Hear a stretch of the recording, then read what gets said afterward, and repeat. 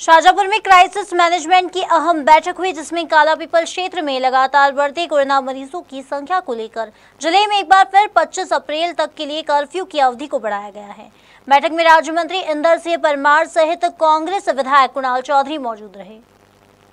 शुक्रवार को जिला संकट प्रबंधन समूह की बैठक संपन्न हुई। बैठक में ऑक्सीजन, रेमडेसिविर इंजेक्शन की उपलब्धता, कोरोना मरीजों की देखभाल तथा अस्पताल प्रबंधन पर चर्चा कर निर्णय लिए गए। साथ ही बैठक में ज़िले में कोरोना मरीजों की बढ़ती संख्या को देखते हुए 25 अप्रैल 2021 तक ज़िले के नगरीय क्षेत्रों में सहित बड़े बड़े ग्रामीण कस्बों में भी कोरोना कर्फ्यू लगाने का निर्णय लिया गया। तो वहीं काला पीपल विधानसभा क्षेत्र के पोलाय कला व काला पीपल में कोविड केयर सेंटर सेंटर शुरू किया जाएगा। इसके लिए विधायक कुणाल चौधरी ने 25 लाख रुपए विधायक निधि से देने की बात कही। आज हमारी ज़िले की बैठक में इसी के ऊपर चर्चा करी। माननीय मुख्यमंत्री जी को भी पत्र लिखा था कई दिनों से।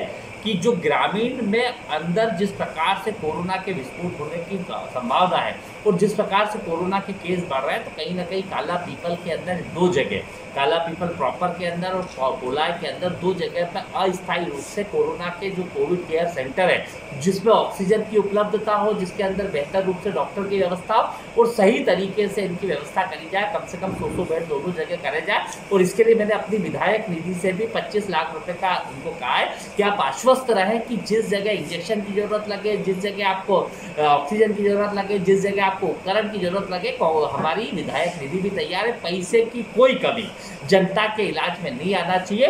और आज तय हुआ है कि कहीं ना कहीं दो जगह पर अस्थायी रूप से यहाँ पे कोविड केयर सेंटर खोले जाएँगे और जिसके अंतर्गत यहाँ पे हम लोग बेहतर इलाज जनता को मिल पाए, क्योंकि लगातार जनमानस परेशान हो रहा है। गाँव से लोग जाते हैं शहरों के अंदर और बार बार एक व्यक्ति के साथ तीन तीन चार चार जा रहे हैं और संक्रमण के आंकड़े बढ़ते जा रहे हैं। और जब तक गाँव में टेस्टिंग के ऊपर ध्यान नहीं देंगे, जब तक उनके इलाज के ऊपर ध्यान नहीं देंगे, कहीं ना कहीं बड़ी समस्या आगे आएगी।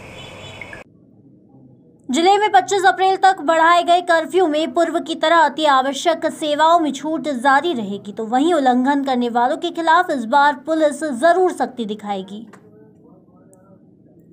काला पीपल से संदीप गहलोत की रिपोर्ट।